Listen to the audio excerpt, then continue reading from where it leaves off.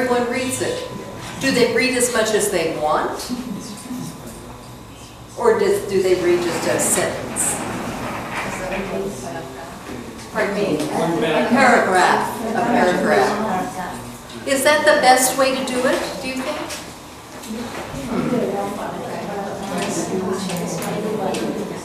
Oh, I think about it. How about if I read a paragraph and then we'll start and you guys read a paragraph? How about that? Because I think one of the goals, is not that I'm so smart, that's not that. It's because I'm a native speaker. And I think one of the goals of the class is that you listen to a native speaker. So it's not that I think I'm so good at this, it's just that I know the language. So I'll start.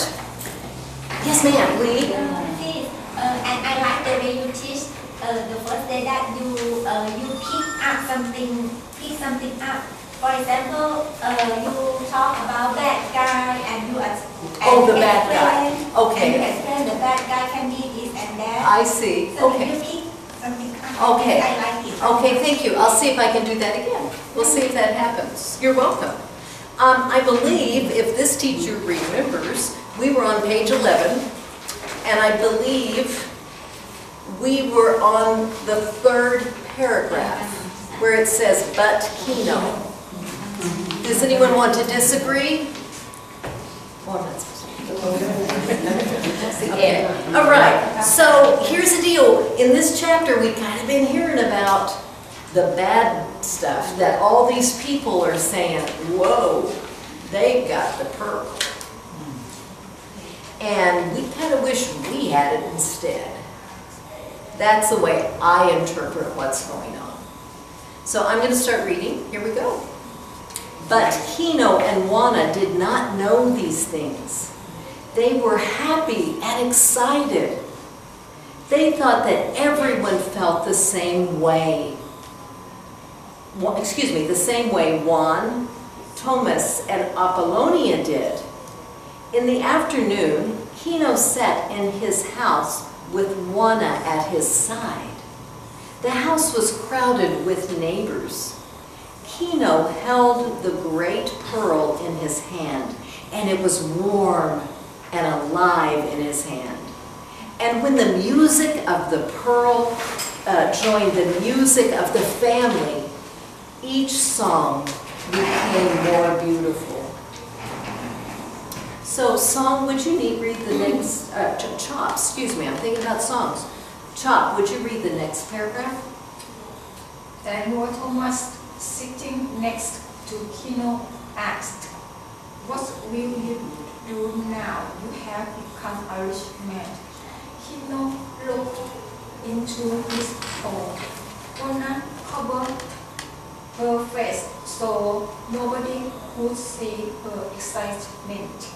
And in the shining holes just formed in the crowd he saw Juana and Coyotito and himself standing in a church. Now they could pray. He spoke softly. We will be married in the church. Did we know they were unmarried before? Did we know that? I mean, I don't know, I'm really asking you. Did we know, I kind of always assumed they were husband and wife. I don't think that we knew before. Did, what do you think, Toy? Did did it say it in the story so far?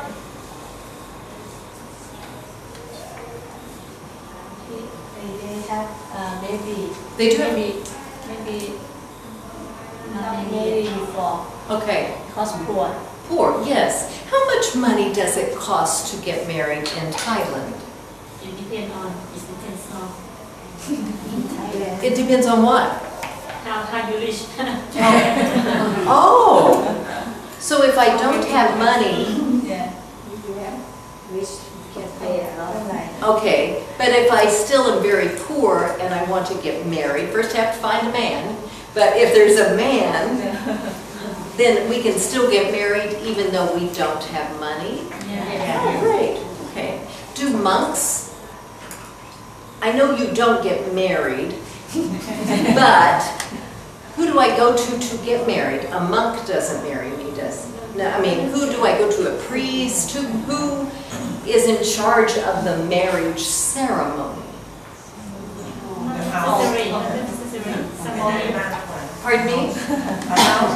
A house in the house with the parents. The parents marry you? Yeah, parents will allow you and Well- then wait you. Okay, so they would allow me to if I were young. Uh, But who do I, who does Mr. Handsome over here and I, who do we go to to actually perform the ceremony? No, The house, if you don't have, don't have. The one that you in the respect. house. the one, Oh, so isn't there a special ceremony? Really? Do we sign our names together? Outside the register office, register office. You go to an office and sign that? Oh, I'm not saying that's wrong, I'm just surprised. You, you are, you are, you are uh, thinking about uh, when in, for example, in America, you and a, a very handsome man go to, and the pri- the priest is in front of you, right? That Yes. You, you meet that man, right? Yes, yes. So typically, not always, even if you don't have much, much money, typically there's some sort of ceremony where either a judge comes and marries you, or you go to a church. Some people spend thousands of dollars. Thousands of dollars. Really, ten, twenty thousand dollars on these enormous ceremonies. My daughter is getting married this summer. She's just gonna have a little tiny party with little family, little family. Her dad, my former husband, is a judge. So he will perform the ceremony. But, um, well, that's interesting about, I like the timeline. Okay, here we go. In the Pearl, he saw how they were dressed. Juana was in a new skirt. Under the long skirt, Kino could see that she wore shoes. He was dressed in new white clothes and he carried a new black hat. He also wore new shoes. And Coyotito wore a blue suit from the United States and a little hat. All of these things Kino saw in the shiny pearl. We will have new clothes, he said. Um, Sue, could you continue reading, please? And if anyone really doesn't want to read, they can say no thank you. That's fine. And the music of the pearl grew longer in his in his ear. Okay.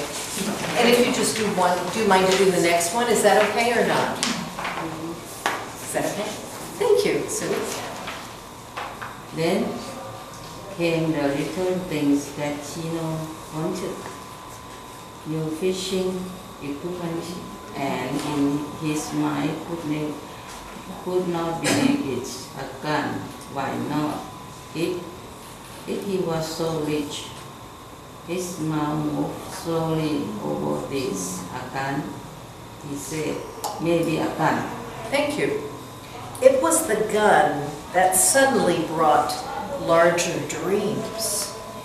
People are never happy with what they have. If you give them one thing, they want something more. People say this is a bad thing, but it is one of the greatest things about people. It makes them better than animals.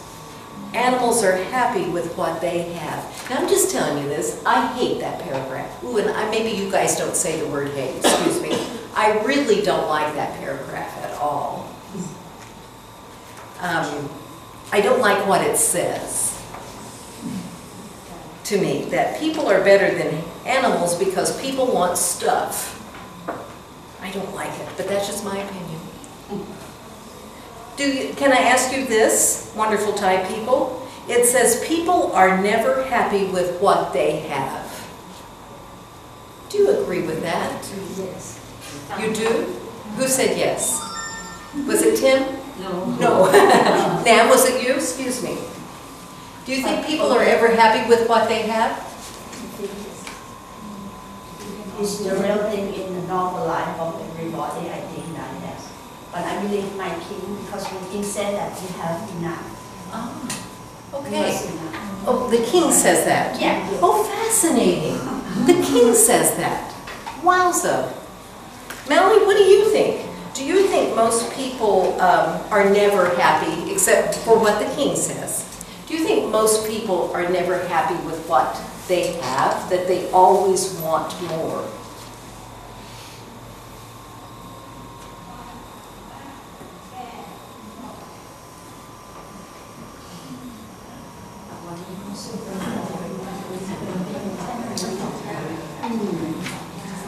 Not sure?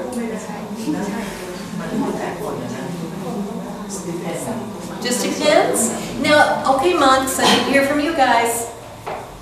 What about you guys? Are monks taught, now I'm guessing monks are taught differently than other people, right, or not? Are monks taught to be happy with what they have? Hello? Or is that right, or can monks want more?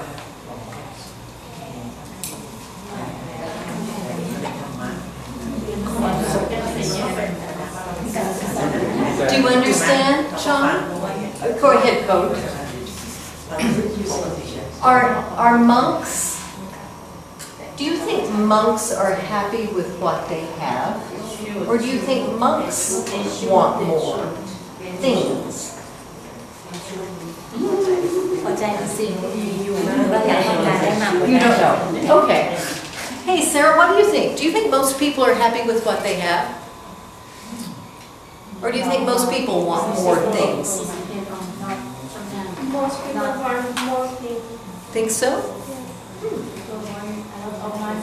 Hmm, okay. Okay, I was just curious. I'm, I'm very uncomfortable with this paragraph, though. I don't like what, pardon me? How about your opinion?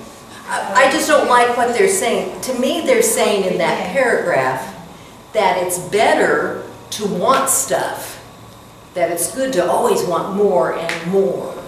In my mind, I don't think that's right. I think it's better to be happy with what you've got. That's, that's my opinion. I'm not saying it should be everybody's, but that's why I'm uncomfortable with it.